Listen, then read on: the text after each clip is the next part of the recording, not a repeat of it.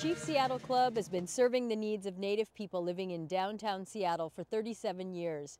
Now, for the first time, they have their own building. Frank Moxley has the story of the grand opening.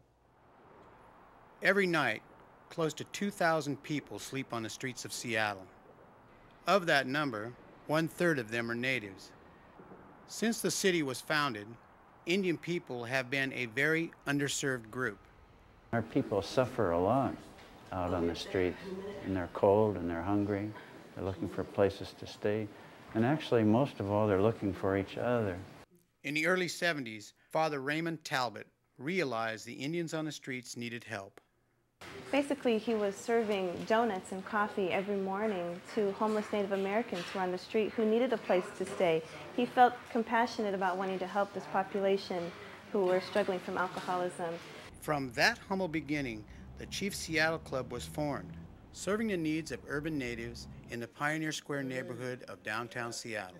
We serve a wide variety of individuals that come here to the Chief Seattle Club. Um, the age range is anywhere from a youth on up through elders. We have veterans. We have people who actually, in fact, have housing. Because the reason they come here is not just to receive food and different services for homeless needs, but to also just come together and a place where they can socialize, and just be among other Native Americans. Chief Seattle Club represents Native Americans from all over North America. 25% of the, the, natives that we serve here come from Alaska. They're Alaska Natives. 15% are from Washington State tribes and 11% are from uh, the Sioux Nations.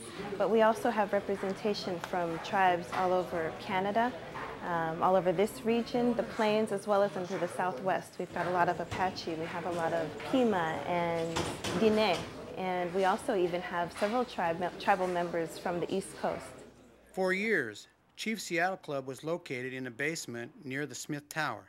It had short hours and shared space with another social service agency. For over 30 years, Chief Seattle Club has always been inside the Lazarus Day Center and other leased facilities. We've always only been able to operate for a couple hours out of the day, just providing those basic needs, and that was about it. Because those needs are ever growing, Chief Seattle Club needed to grow. Through the efforts and donations of many people, Chief Seattle Club was able to purchase its own building.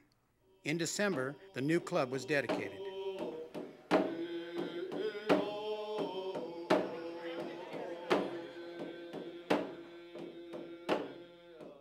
With our very humble hearts, we thank all of you. I want to thank each and every one of you for believing in us and believing in our vision. One person on hand to participate in the ceremony was Chief Seattle Club architect John Paul Jones. Some people, uh, Indian people, are, are on the streets and they're trying to find their way, and this center will help them, I think, quite a bit because they'll see things from spaces that have a circular feel to them that relates directly to their communities that they came from. They'll see the artwork. They'll be able to get good, uh, you know, good showers, food, and all that. And I think it's going to help a lot for the Indian, urban Indian street people here in Seattle. Today we serve nearly 1,000 Native Americans who are from all over the map.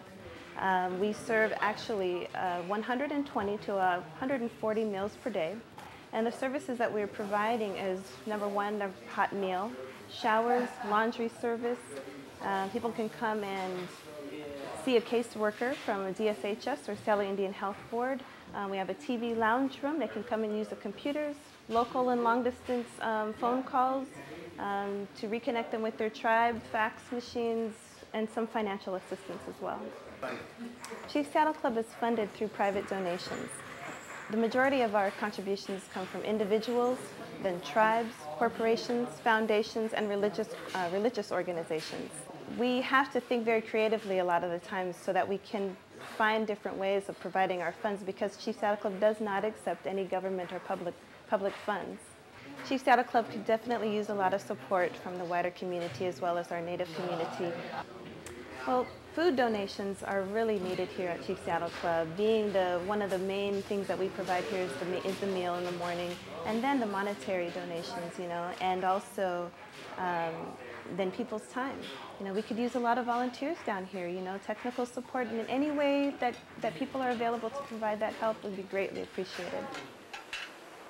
For 37 years, Chief Seattle Club has helped all who come, serving Native people who need help surviving on the streets of Seattle. For Northwest Indian News, it's Frank Moxley reporting.